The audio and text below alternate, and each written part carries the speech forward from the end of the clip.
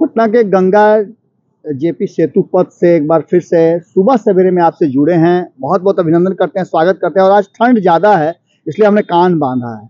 हवा बहुत तेज चल रही है और इसके साथ साथ हवा तो बिहार में भी गर्म है। पंचायत चुनाव हो चुके हैं और अब नगर निकाय चुनाव को लेकर के लोकल बॉडीज का चुनाव है। और इसको लेकर के आप समझ सकते हैं कि कितनी गहमा गहमी होगी। उससे थोड़ा सा अलग हट करके हम आपके पास मॉर्निंग वॉक में आए थे। वोट हमने दे दिया है, आप देख सकते हैं। आपसे भी आग्रह होगा कि हम चाहेंगे कि आप अपने वोट को कास्ट ज़रूर करें और सही उम्मीदवार चुन करके अपने गली, मोहल्ले और पटना को सहित अलग अलग नगर निकाय जो हैं, उसको स्वच्छ रखने के लिए, उसमें प्रगति हो, विकास हो, उसके लिए काम करें। लेकिन असल तो हम आपसे आए हैं बात करने के लिए बिहार की राजनीति पर और जो सुबह सवेरे की जो खेप है, वो लेकर के आए हैं और आपको पता है कि पिछले कई सप्ताह से हम लगातार यहीं से आपसे लाइव हो रहे हैं। पीछे में मेरे देख रहे होंगे आप कि किस तरह से लोगों का आना जाना है। कुछ कुछ देखे होंगे आप कि गाड़ियाँ बहुत तेज चल रही हैं। मैं उन लोगों से आग्रह करूँगा कि वो लिमिट से चलाएँ। ठंड बहुत ज़्यादा है। अगर हाथ आपका ठिठुर गया, कठुआ गया तो ऐसी स्थिति में ब्रेक मारने में आपको परेशानी हो सकती है। इसलिए सेफ़ रहें, सेफ़ ड्राइव करें। ये आग्रह करते हुए, चूँकि यहाँ हम बैठे हुए हैं तो मेरा कर्तव्य बनता है कि जो लोग इस रास्ते से गुजर रहे हैं वो स्पीड को कंट्रोल में रखे। लेकिन खैर, आज बिहार की राजनीति में एक सबसे बड़ी खबर जो हमारे सामने है, वो है कि नीतीश कुमार का खुल गया पोल। ये पोल कैसे खुला है? तो नीतीश कुमार लगातार तेजस्वी यादव से लेकर के बिहार की राजनीति में बहुत सारे ऐसे फैसले कर रहे हैं।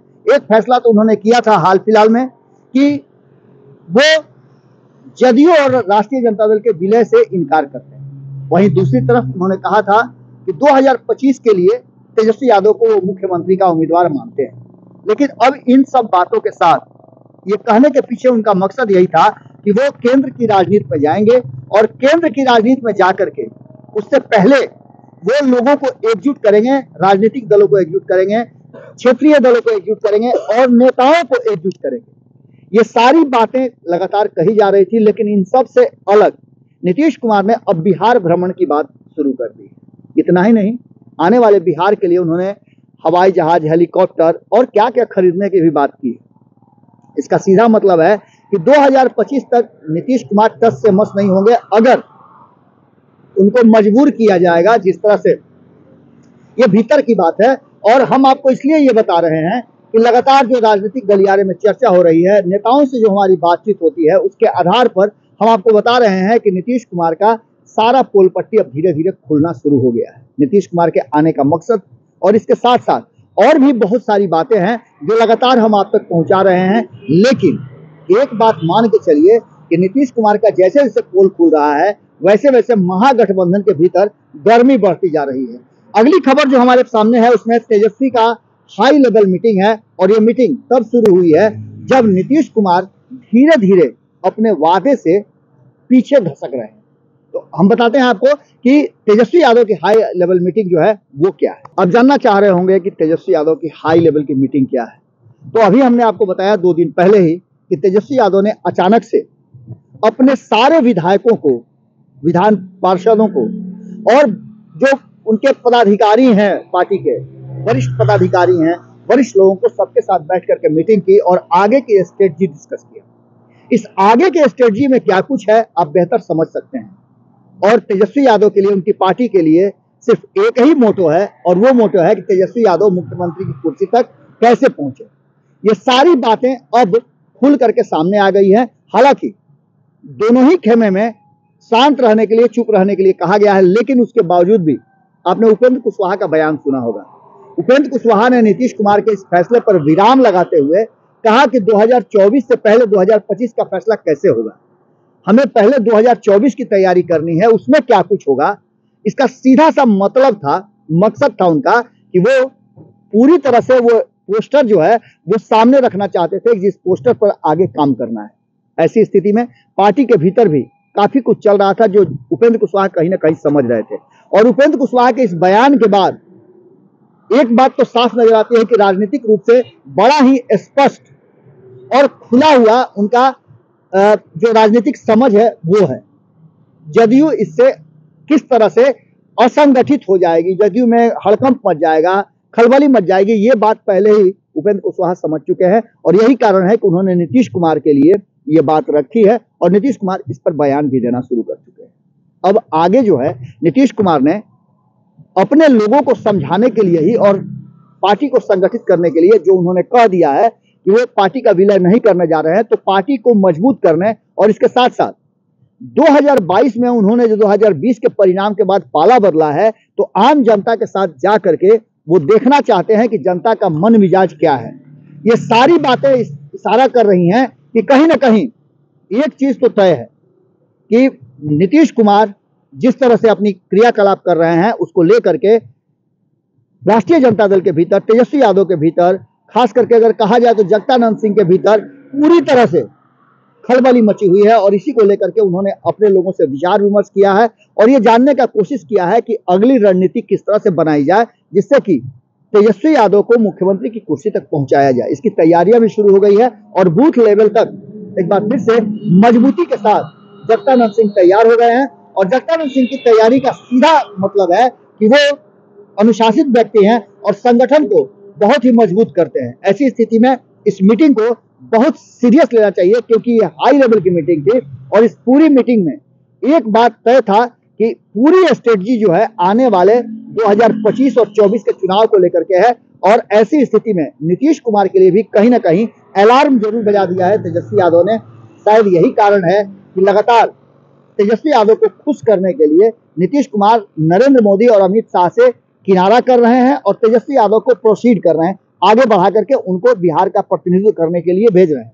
अगली खबर जो हमारे सामने है, वो खबर है कि थर्ड फ्रंट की चर्चा हम लगातार कर रहे थे, इसकी सुबुगाहट एक बार फिर से शुरू हो चुकी है। भारतीय जनता पार्टी और महागठबंधन के अलावे एक थर्ड फ्रंट शुरू होने जा रहा है और ये थर्ड फ्रंट आखिर क्या है? इस थर्ड फ्रंट में नीतीश कुमार की एंट्री क्यों नहीं है? ये बात हम आपको बता रहे हैं। जैसा कि थर्ड फ्रंट को लेकर के हमने आपसे बात किया था और बताया था कि महागठबंधन और एनडीए के अलावे एक थर्ड फ्रंट बनाने की कवायद शुरू हो गई ये थर्ड फ्रंट दोनों के नीतियों का सीधे विरोध कर रहा है और देश और बिहार दोनों को संभालने और दोनों के विकास की रणनीति पर काम कर रहा है। ये इस थर्ड फ्रंट में कहा जा रहा है कि सुबुगाहट तेज हो गई है और ये थर्ड फ्रंट सिर्फ़ बिहार से नहीं, देशव्यापी बनेगा। बिहार में थर्ड फ्रंट बनाने की जिम्मेवारी जो है, वो प्रशांत किशोर ने उठाई है और प्रशांत किशोर लगातार जिस तरह से यात्रा कर रहे हैं, उन यात्राओं को देख करके साफ़ लगता होगा कि किस तरह से बिहार में थर्ड फ्रंट की कवायद शुरू हो गई है।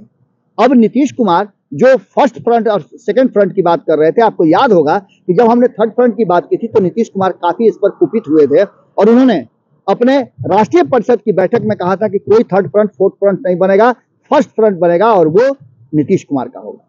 अब इन सारी बातों के अलावे एक बात तो साफ़ नज़र आ रही है कि नीतीश कुमार जिस तरह से सत्रह साल से रणनीति बना करके बिहार के गद्दी पर बैठे हुए हैं, उसके बाद उन पर एंटी इनकम्बेंसी आना लाजमी लगातार 2020 में भी जिस तरह से उनकी सीटें कम हुई, वो साफ़ बता रहा था कि कहीं ना कहीं नीतीश कुमार से पूरी तरह बिहार की जनता खुश नहीं है। शराबबंदी को लेकर के नीतीश कुमार एक बार फिर से निकले हैं और शराबबंदी के लिए भले ही लोग ये कहें कि शराबबंदी कानून नहीं बंद होना चाहिए, इसमें सुधार होना चाहिए, लेकिन भीतर ही भीतर सब चाहते हैं कि शराबबंदी को निरस्त कर दिया जाए। शराब फिर से चालू हो जाए ऐसी बातें अगर भीतर खाने में आप लोगों से करें तो वो कहते हैं, लेकिन शराबबंदी एक बहुत अच्छी योजना है, इसका हमने भी समर्थन किया है। आपको याद होगा 2016 में हमने इसके लिए पुरजोर विरोध किया था कि आंशिक नहीं पूर्णबंदी हो, ये बात हम कई बार कह चुके हैं। लेकिन अब जो स्थिति थर्ड फ्रंट की है, उसमें कहा जा रहा है कि कई दल जो कि एनडीए और महागठबंधन से दूरी बनाकर रखना चाहते हैं, ऐसे दल तैयारी शुरू कर चुके हैं। कहा तो यहाँ तक जा रहा है कि बिहार में इस थर्ड फ्रंट को नेतृत्व करने के लिए एक नई टीम बन रही है, जिसका नेतृत्व उपेंद्र कुशवाहा के साथ साथ और लोग करेंगे। हालाँकि उपेंद्र कुशवाहा की तरफ़ से अभी इस पर किसी भी तरह की कोई बात नहीं कही गई है, और वो बार बार ये कह रहे हैं कि वो जदयू के नेता है और जदयू को मज़बूत करना उनका सबसे पहला काम और कर्तव्य है। इसके साथ साथ आपको पता ही है कि पप्पू यादव एक जगह अलग खड़े हैं, न इस टीम में है, न उस टीम में है। इसके अलावे अभी तक मुकेश सहनी के लिए कोई स्थान तय नहीं हुआ है। प्रशांत किशोर लगातार जो भ्रमण कर रहे हैं, उसके क्या असर होंगे? और वहीं राहुल गांधी जो देशव्यापी यात्रा कर रहे हैं, उस यात्रा का क्या होगा? तो इन सारी बातों को लेकर के 2024 से पहले थर्ड फ्रंट की कवायद शुरू हो गई है उसमें किसकी किसकी एंट्री मिलेगी, हम आपको इस लिस्ट को भी बताएँगे बहुत जल्द, क्योंकि थर्ड फ्रंट में एक तो बात पक्का है कि नीतीश कुमार की एंट्री बैन है। नीतीश कुमार के लिए नो एंट्री का बोर्ड लगा दिया गया है, और ऐसी स्थिति में थर्ड फ्रंट यदि सक्सेस होता है तो इसमें आप एक बात समझ लीजिएगा कि नीतीश कुमार को पूरी तरह से नीतीश कुमार की रणनीति को, नीतीश कुमार के लौकुश को, तेजस्वी यादव को यहाँ तक बड़ा घाटा होने वाला है। हम इसलिए ये बात कर रहे हैं कि सारे समीकरणों को मिला करके थर्ड फ्रंट की कवायद की शुरुआत हुई है और इस कवायद में एक बात तो पक्का मान के चलिए कि थर्ड फ्रंट नीतीश कुमार के लिए टेंशन का कारण ज़रूर बन रहा है। यही कारण है कि नीतीश कुमार केंद्रीय नेतृत्व को संभालने से पहले बिहार में अपने आप को मज़बूत करना चाहते हैं, बिहार के लोगों से बात करके देखना चाहते हैं और इसीलिए उन्होंने यात्रा शुरू की है कि मन मिजाज किस तरह का है। नीतीश कुमार के इस फैसले से जो तेजस्वी यादव के साथ आए हैं उसका क्या असर पड़ा है, लोग उस पर क्या प्रतिक्रिया दे रहे हैं, इसके बाद नीतीश कुमार आगे हो सकता है कि आने वाले समय में अगर फीडबैक मिलता है तो देश की राजनीति के लिए आगे बढ़ सकते हैं। आज सुबह सवेरे में हम आपसे यही विदा लेते हैं। ठंड बहुत है वोट ज़रूर दीजिएगा, एक बार फिर से अपील कर रहे हैं।